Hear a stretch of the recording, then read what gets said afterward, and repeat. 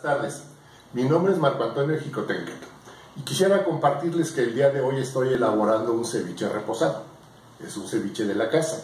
Es un ceviche que hemos preparado aquí en Cuernavaca desde hace ya un poco de tiempo. No les voy a platicar de la receta, porque todavía sigue siendo mi receta y no la quiero descubrir. De todas maneras, el objetivo de esto es platicarles cuál es el maridaje que para mí me ha demostrado que es perfecto con mi ceviche.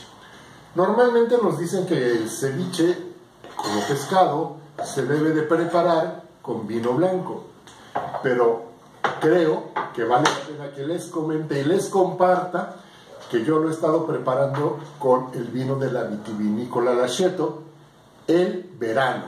El verano rosado con el ceviche crea un maridaje especial en donde se disfrutan los sabores simples y sencillos de este tipo de pescados, de este tipo de ceviches, con un vino frutal, aromático, con sabores concentrados que nos da el vino.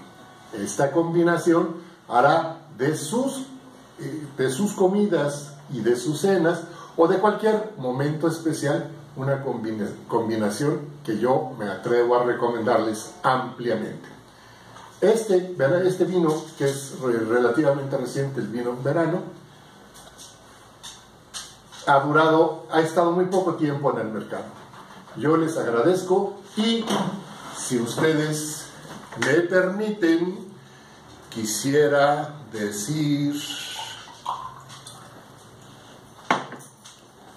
salud.